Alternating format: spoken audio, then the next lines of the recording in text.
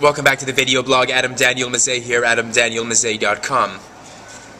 You know, one of the things that I always try to do whenever I have an interaction or an exchange with someone is I try to end the conversation or the exchange on a positive note. Now, that might sound a little bit contrived and a little bit false, and it might sound a little bit American, and it might sound really, really just idiotic. But it's true, because we're not invincible. As people, we're not. Some people believe that they'll be getting up the next morning. Some people believe that they can walk out on the street and nothing will happen to them. Some people believe that everything's going to be hunky-dory from one moment to the next. But the reality of the matter is that your life, your entire existence can change, can turn on a fulcrum in five seconds, and that which was five seconds before will never be again. And you have to be aware of things like that. Not being morbid, not being kind of fatalistic, but just be aware of the fact that life can change on a dime.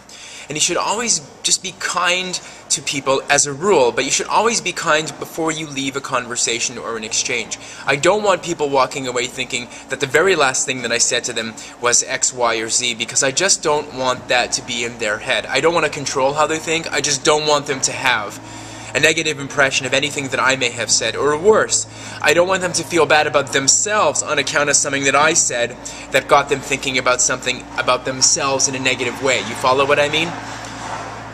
It stuns me.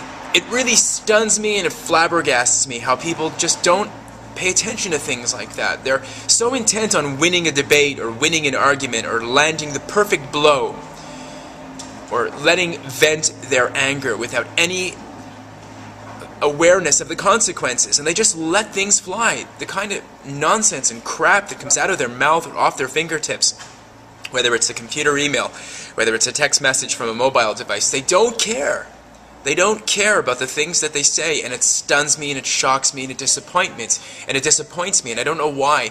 And my efforts to try to be positive are kind of like just dismissed as some kind of nonsense, as some kind of again, some kind of inflated false BS that I try to deliver on a silver platter, but it's not. It's true. Try to be positive. Don't be negative. Really challenge yourself to make sure that every single thing that you say has a positive spin. And it's not just an exercise, it's really a lifestyle.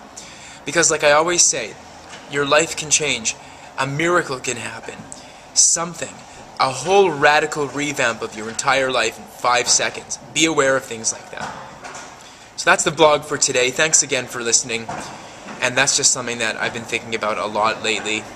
I don't know why. I guess there's some things going on in my life that are causing me to think about things like that. Take care. Catch you when the weekend's over.